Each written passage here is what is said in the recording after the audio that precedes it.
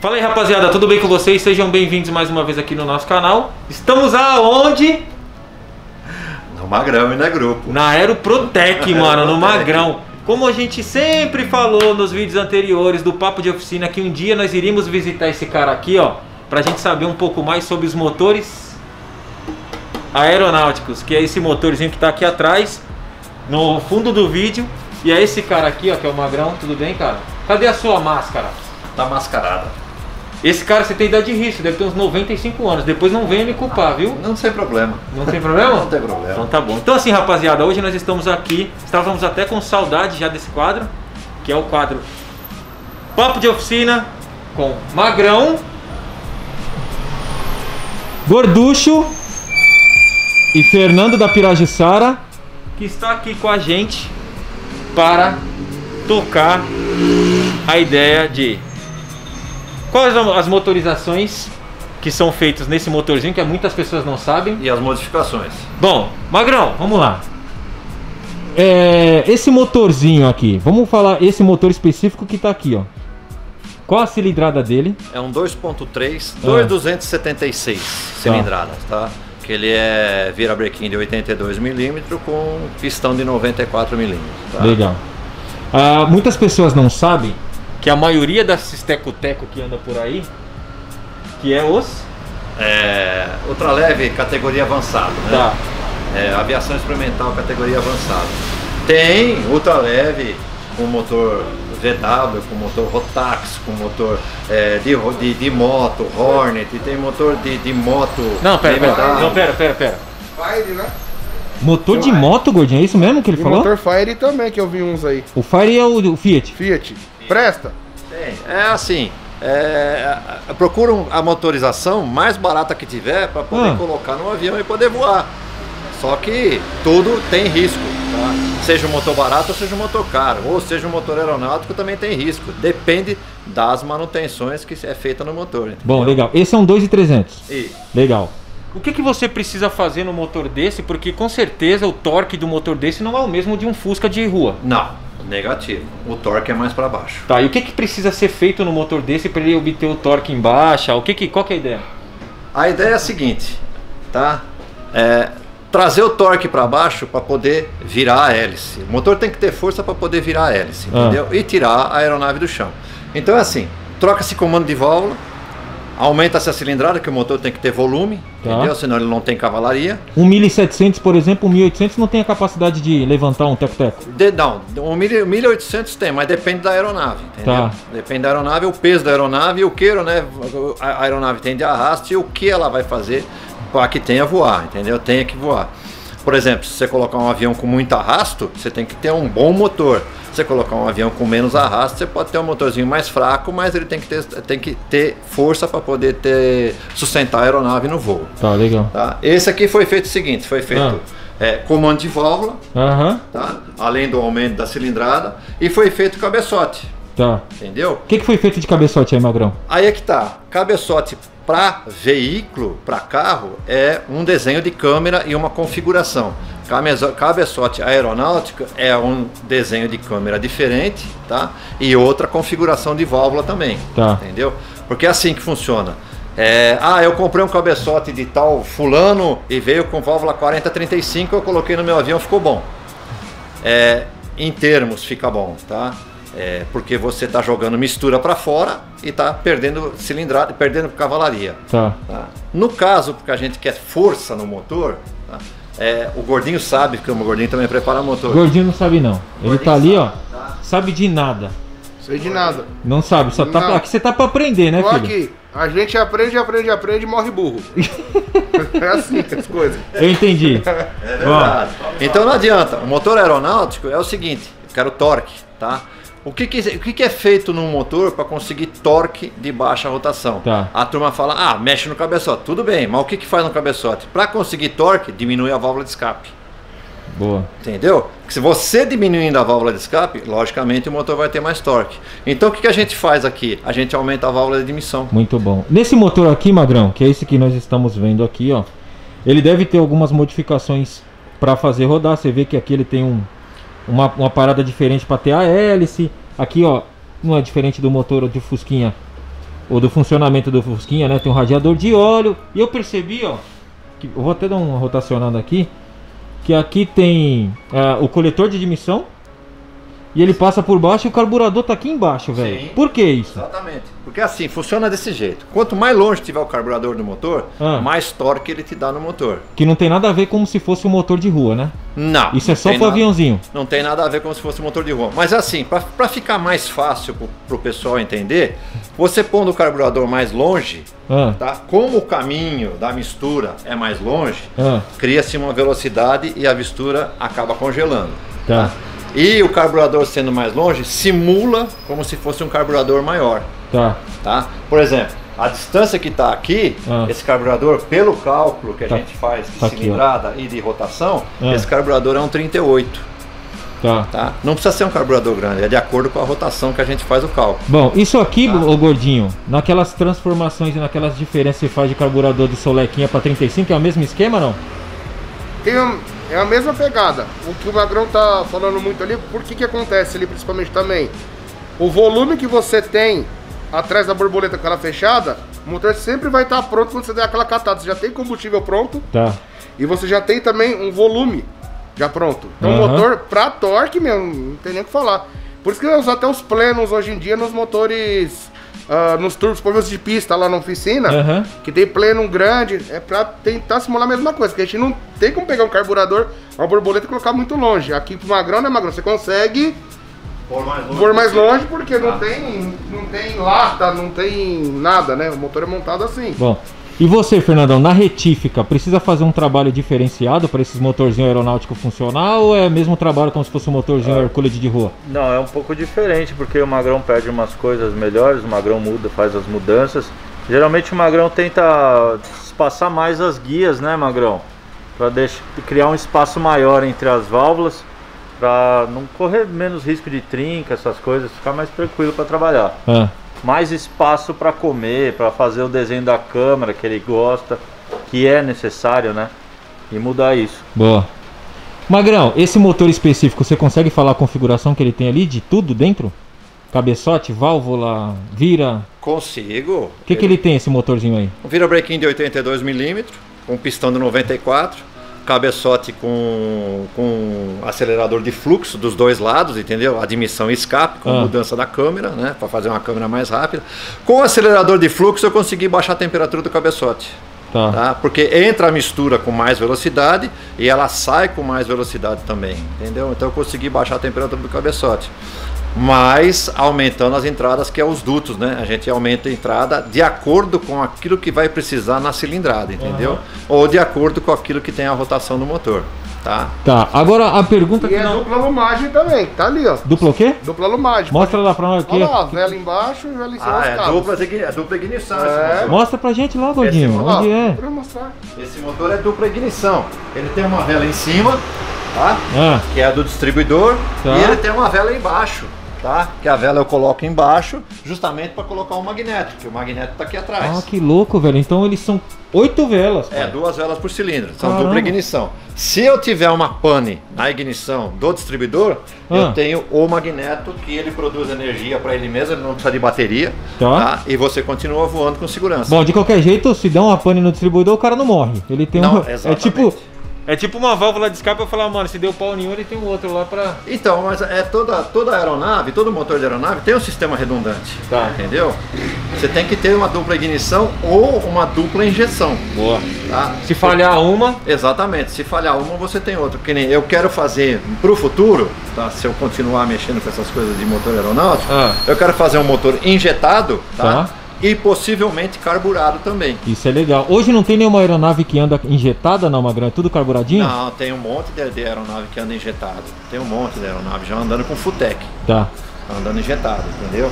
Que é uma ignição, você tem que ter uma injeção que seja confiável, Tá. entendeu? É, então, o que está de confiável no mercado ultimamente é essa... essa A Fueltec. A Fueltec, exatamente. Bom, agora, Magrão, assim, a gente, a gente sabe que a maioria dos projetos que estão andando na rua, principalmente as montadoras, sabe que vem de performance e tal. No seu caso, que você é um cara que desde os anos 90, né? Posso dizer não? 80? Ano, anos 50? Anos 50, gordinho? Lá pra trás lá. de- Assim, vamos pôr desde o final dos anos 70. Desde os anos 40, ele já Quem mexe. fez O motor do 14 bis foi ele, pô. Como é que é? O motor do 14 bis que fez foi, Foi, ele. foi o Magrão. Então, assim, desde os anos 40 ele já é especialista nessa parte. E a gente sabe que a maioria dos carros de rua, é, as tecnologias vêm de performance. Eu posso, você hoje pode dizer pra gente que a tecnologia que você emprega nesses motorzinhos aeronáuticos, a gente pode utilizar nos motores de rua hoje, que a gente vê que tem muitos caras querendo ter performance, querer ter um motor cabeçudo, grandão, 2.300, com força, com não sei o que. Eu consigo essas receitas que você usa pro aeronáutico pra rua? Nossa, eu, o gordo tira bastante. O gordo perde bastante coisa. Por exemplo, tem uma coisa que eu faço que é segredo meu, mas eu vou contar, não tem problema É nenhum. bom mesmo que você tá? conta, senão a gente te É arrepia. assim, todo mundo fala que quanto menos anel tiver no motor, mais ele gira. Mas aqui não é um motor girador, aqui é um motor de torque. Com tá? força. Eu de tanto que qual, qual a disponibilidade de torque aqui vem de quantos giros? Aqui começa lá na faixa de 1200 RPM, É nada, né? 1250. É nada, né? Qual que é a taxa? A taxa de compressão desse motor é 6 para 1, Caramba. Entendeu? E aí, é, é, é insano ou não é, Fernandão? Aí o Magrão mete ponto. É seis pra- não, não é só trabalhar em cima do ponto, entendeu? Ah, tem outras, outras coisas que a gente faz aqui, outros segredos, que nem todo motor tem três anéis, ou menos anel. Quanto menos anel tiver, mais ele gira. Mas aqui eu não quero giro, eu quero força. Eu coloco mais um anel. Ah, então em vez de tirar, Eu ponho um anel, Põe. de, um anel de compressão, Legal. exatamente. O que, que acontece? É, tem um anel, tem um jogo de anel que se chama Total Seal americano, Ah. tá? Que ele é justamente um anel para fazer vedação. Um dos anéis faz a vedação total para não passar pressão para o kart. Tá. No Total Seal, tá? É, a pressão do kart é mínima. Quando a gente coloca, quando a, quando a gente quando a gente é exatamente, quando a gente com- com- com- monta o motor com os anéis originais, tá? A gente tem 11% de pressão que passa pelo anel que vai para o cárter, tá? Com o Total Seal passa 2% de, de, de compressão. muito bom. E esse anel a mais que eu ponho é justamente para diminuir a, a pressão que vai para o cárter e ser pressão direto no cabeçote. Bom, Fio, vamos fazer o seguinte: você tem algum motorzinho aqui que você possa demonstrar pra gente o trabalho interno que você faz aqui nesses motorzinhos aeronáuticos? Aeronáutico? Aeronáuticos? Tem, tem, tem. Então vamos, vamos mostrar pra rapaziada, que os caras curtem muito. Bom, rapaziada, eu vou mostrar, enquanto o Magrão vai preparando lá, eu vou mostrar um pouquinho mais, mas eu vou deixar umas imagens de fundo pra você, só pra você entender como é o motorzinho, ó. Tem a hélice aqui, ó. Aqui com certeza ele tem uma adaptação diferenciada pra fazer a adaptação da, da, da hélice aqui. O mais que eu achei mais legal é que o coletor de admissão do Fusca geralmente eu venho aqui e vem pra cima. Esse daqui, ó, ele vem aqui, desce, ó. E vai pra baixo, o carburadorzinho tá aqui embaixo. Meu, é animal. O negócio é, é uma obra de arte. Eu deixaria pendurado na garagem, né, gordinho? Legal. Sensacional, né? Funcionando, então é legal. É bem é. um ventilador bom, Será mano. que a gente vai conseguir ligar isso aí? Nós vamos encher o saco dele, né? É, vamos ver, né? Então aqui, ó. Os cabeçotinhos que o, gra-. Como o Magrão é o rei dos cabeçotes, né, mano? Então você tá ligado que o, o forte do cara não é só o cabecote. Esse é um acelerador de fluxo, tá? Então quando a válvula abre, o fluxo entra turbilhonado, tá? No aeronáutico eu faço o acelerador de fluxo Ah. tanto na válvula de admissão quanto no escape, mas eu faço uma mudança na câmera, Olha que legal isso aqui. Eu não tinha visto esse trabalho ainda, hein, Gorducho? Você faz os seus Ah, cabeçotinhos Ele lá? faz. tá? Fora, Já Você peguei- faz um Já seus peguei um cabeçotes? monte de cabeçote que ele faz que tem nos dois. fora o aumento de duto, entendeu? É, isso aqui é praxe, né? Todos os carrinhos que passam aumento lá. de duto tem que ter, entendeu? Tanto de admissão quanto de escape. Agora, é, o acelerador de fluxo no aeronáutico, ele É. é feito dos dois lados, mas a câmera é mudada, tá? É uma câmera semi-hemisférica com acelerador de fluxo, Boa. porque eu não quero temperatura alta no cabeçote. Sempre baixa. Entendeu? Que é o nosso problema dos Hercules de hoje, é a, a A temperatura. temperatura de cabeçote, exatamente. Bom, vamos lá, Magrão. Vamos ver o que, que você tem pra mostrar pra gente aí de Tá. na interna. Assim, para poder passar um virabrequim, tá? A gente tem que usinar a carcaça, tá? É. Para poder passar o virabrequim, certo? Aham. Porque o virabrequim tem que passar conjunto, virabrequim e biela. Até porque o virabrequim é muito maior que a carcaça, né? Sim, exatamente. Aí todo mundo fala, nossa, mas você descasca a carcaça, a carcaça fica muito fraca e tal, enfraquece a carcaça. Não, não é só tirar na carcaça, tem que tirar na biela também, entendeu? É. Então a biela também tem que ser tirada, tá? Você tem que fazer o conjunto, senão você Porque não senão ela raspa aqui dentro, ela né? bate aqui dentro e bate aqui em cima, tá? Ah. Aqui eu fiz uma simulação, tá? Com o virabrequim, Original. não.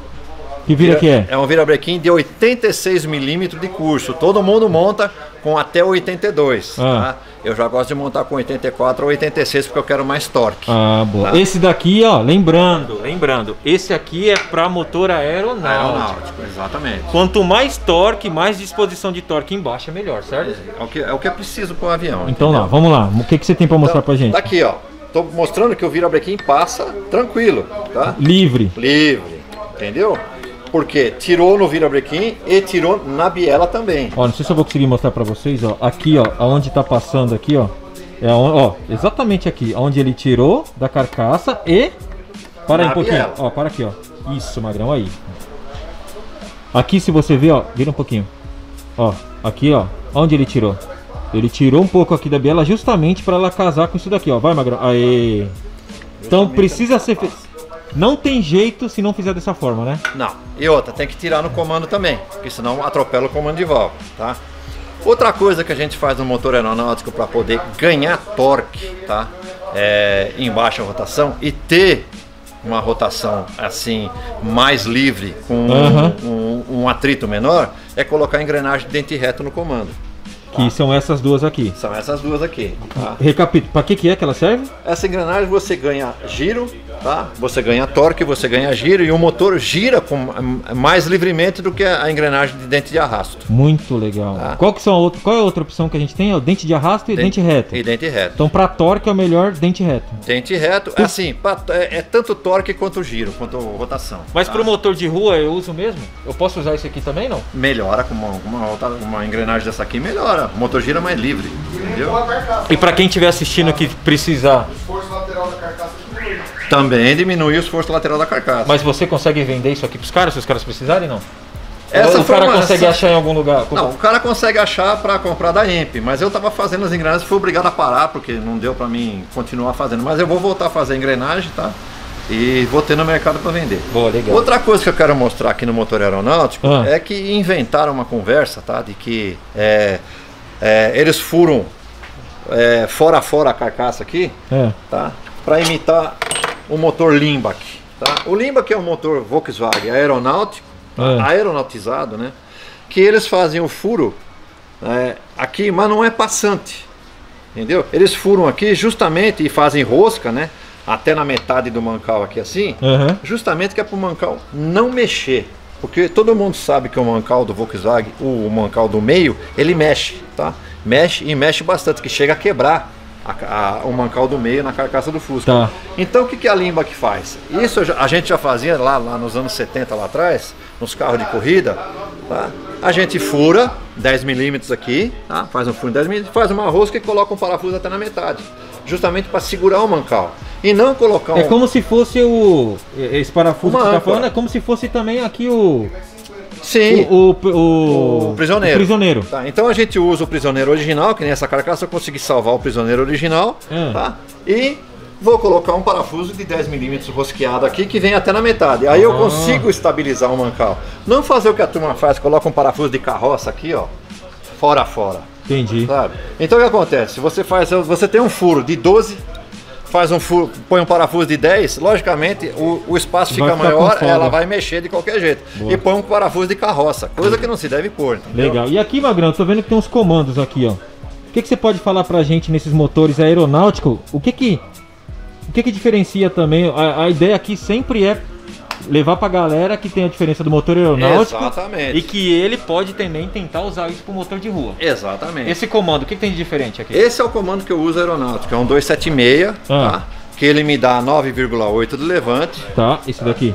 Ele tem um levante de 9,8 nos, no- no- nos cames, entendeu? Ah. Justa, e com um lobby center, que seria o cruzamento aqui, com um lobby center maior, de 116 ou 118. Tá. tá? Então o que acontece? Você tendo um lobby center maior, você tem mais torque de baixa.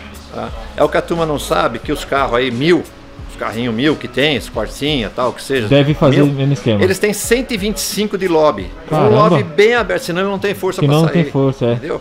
Então esse é o problema. Aí é que tá. Eu jamais vou colocar um comando é, que levanta 7 ou 8, tá? E deixar um comando de 9,8. Justamente porque o motor ele absorve 20% de oxigênio da, da atmosfera. Tá. Então se eu tenho um comando que levanta mais e abre mais a válvula, logicamente eu vou colocar mais ar Exato, combustível. exatamente. Aí eu vou ter mais torque, entendeu? Muito bom. Tá. Bom, Magrão, e esse, esse motorzinho que a gente tá vendo aqui que tá montado, esse aqui é, o- é a lenda, é a Essa é a lenda que lenda, tá... é. Te... Gordinho, Excelente. esse motorzinho que tá aqui, é aquele motor que ele fala há 35 anos que vai montar, que vai montar, que vai montar? Esse e- aqui, É, aquele ali. pode olhar nas costas, tem um pelo branco ali que até já nasceu, filho. Meu, esse motor que eu não falo nada.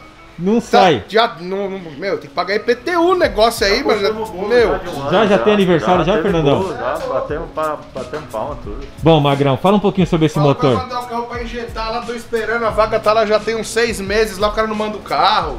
E aí, esse, filho? aqui, esse aqui é um cafezinho com leite que eu fiz, Ah. tá? Mas agora eu vou colocar, não vai ter jeito, né? Que cilindrada A é pressão aí? tá muito grande. Tá muito grande, A né? pressão tá muito grande. Esse aqui é um 2.0, Tá. tá? 78.4 de virabrequim, Ah. com 90,5 de pistão, 4 anel, tá? É um comando FK98 com um cabeçote 44 de, de válvula na admissão e 38 no escape. Aham. Não, 36 no escape, eu já tô até errando. E o balanceiro 1.4. Faz tanto tempo que ele já não sabe nem a configuração que tem. tá até errando, É. E corpo de borboleta 48, Que aí dá um quê? Qual que é a cilindrada? 2.0, 2.0, velho, ó. entendeu? Esse daqui vai pro Agrônios. Esse distribuidor é Ah. um distribuidor de Kombi que, aliás, é- esse distribuidor é um distribuidor de AP que eu torneei ele todo e fiz ele caber no, no, no- no motor Volkswagen, entendeu? Tá, mas isso aí é coisa tua? Isso é coisa minha. Ah, e funciona? Já funcionou, Tem certeza? absoluta. Já tem uns lá, gordinho? até o de Opala pra mim, lembra? Eu queria Rapaz. continuar um pouquinho o assunto aqui, Hum. tá? No- na parte aeronáutica, para falar um pouquinho que, o que tem e o que deixou de ter um motor Rosta- Rotax e o que a gente precisa saber pro, pro Fusca chegar perto do Rotax. Tá, Perto assim. Então nós vamos fazer o seguinte. Pra esse vídeo não ficar muito longo, a gente vai despedir do cara aqui agora. Eu gostaria de agradecer a todas as pessoas que estão assistindo esse vídeo. Porque eu tenho certeza que a gente vai dar continuidade no episódio 2, porque esse cara aqui fala mais que a nega do leite, como diz meu pai. e não é nem só isso, porque ele tem muita informação bacana, certo, Magrão? Certo? Então, ó, fiquem atentos ao próximo episódio com Magrão, Grandão, da Aeroprotec, junto com essa galera que tá aqui, ó, Fernando da F-Max e Fernandão da Pirage Sara, que veio aqui para tirar algumas dúvidas sobre os motores aeronáuticos que você pode trazer essa tecnologia dos aeronáuticos para a rua e ter um torpedaço. E tem, exatamente. Certo, Magrônio? Certo? Então é isso. Tamo junto. Pra você que é inscrito, curte, compartilha. E pra você que não é inscrito, já se inscreva, curte, compartilha, porque você vai poder ajudar aí o Marco Botelho a trazer muitas coisas legais, como Magão, Magrão Fenza da Aeroprotec com motores aeronáuticos cabeçudo. e certo? continuo fazendo cabeçote. Continua fazendo cabeçote. E balanceiro. Ruim, ruim. Mas tá fazendo. E balanceiro. Tamo junto, valeu, Zácio, e até o segundo episódio com Magrão da Aeroprotec. É nóis.